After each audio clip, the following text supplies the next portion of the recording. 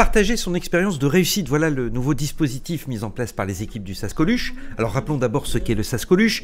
C'est une structure qui repère les jeunes décrocheurs et qui les remet sur le droit chemin. Et la particularité réside dans le fait qu'un coach est dévolu à chaque jeune. Une fois encore, le Sascoluche se veut force d'expérience, avec la visite régulière de personnalités. Cette fois, c'est le cas de Gervais Martel, ancien président du Racing Club de Lens, mais aussi d'anonymes, qui viennent raconter leur expérience de vie et leur parcours. L'un des dispositifs qu'on a mis en place euh, s'appelle la Success Story. Euh, l'idée, en fait, c'est de faire rencontrer des personnes euh, qui se sont accomplies dans leur vie, qu'elles soient, célèbres ou pas, en faisant passer toujours un message un peu similaire, c'est qu'à force de constance, d'envie, de motivation, on peut atteindre ses rêves. Le premier temps, donc, le groupe de jeunes étudie, se renseigne sur la personne. Deuxième temps, c'est plutôt sur la partie présentation. Troisième temps, c'est l'interview en tant que telle qui est filmée.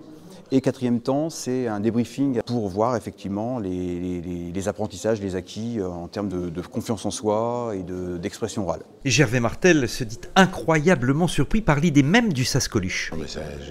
J'en ai discuté avec les, personnes qui, qui travaillent euh, effectivement concrètement dans le, dans le sujet. Et je posais la question, c'est d'aller comment vous faites pour les discuter avec eux, pour les, les chercher euh, avec peut-être certains jeunes qui n'ont pas envie de se, montrer par, par, pudeur.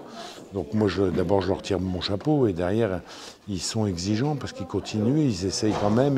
quand ils arrivent à les ramener, c'est presque gagné. Parce qu'ici, ils sont dans un endroit fabuleux, ils sont en contact de gens. Donc ça veut dire qu'on leur a remis le pied à l'étrier.